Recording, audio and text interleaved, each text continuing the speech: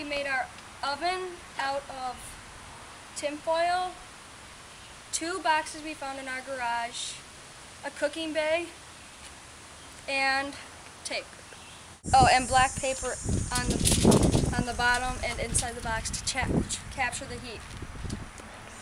We are gonna put bricks in in the box, and then we're going to put a pan on top of the bricks and cook three hot dogs.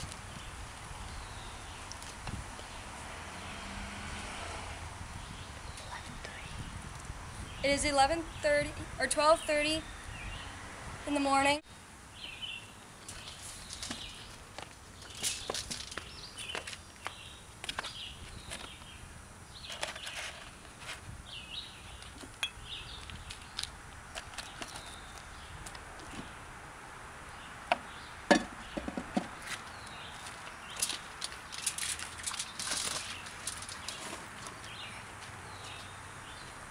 Okay, we will see you in two hours.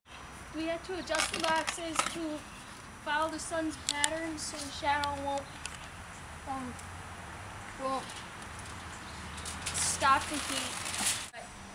We are going to check the hot dogs after two and a half hour wait.